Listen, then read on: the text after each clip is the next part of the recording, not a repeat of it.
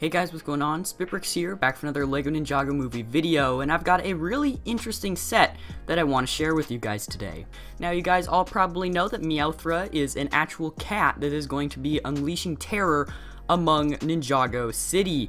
Now, of course, he's going to play a very big role in the LEGO Ninjago movie upcoming, and of course, well, he's an actual cat, he's not really going to come in a set, so I figured that why not create a custom set? So this is created by me in Photoshop. No, it is not real. I do not want you guys thinking it is, but it is a little clever little idea and little just funny sort of joke that I had created. You can see that I kept the LEGO Ninjago movie logo at the very top and basically just took the art artwork of one box that we've gotten and replaced it with a different background, which you can see some shark warriors running, and of course an image of a cat.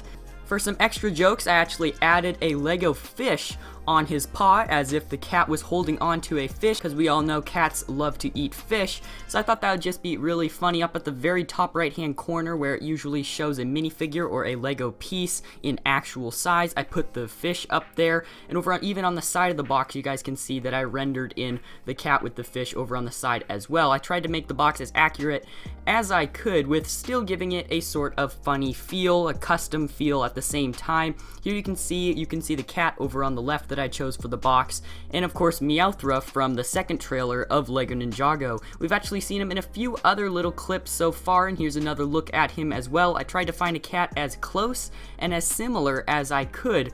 So that's pretty much it. I just wanted to show you guys a small little edit that I did on a Lego box and created this Lego Ninjago movie Meowthra set. Be sure to comment down below what you guys think of this edit. If you guys want to see any more custom sets by me, uh, just different ideas like that, be sure to let me know down below as well. If this set was real and it was in a store, it would be the first LEGO set ever to be a retail exclusive to a pet store. You could pick this one up at the pet store and get a Meowthra cat for yourself. Obviously completely fake. That's it for this video. Thank you guys so much for watching this funny little video. I'm SpitBrix. If you guys are new, be sure to subscribe to my channel and turn on notifications so you guys are updated whenever I post another LEGO video. I will see you guys next video coming very soon.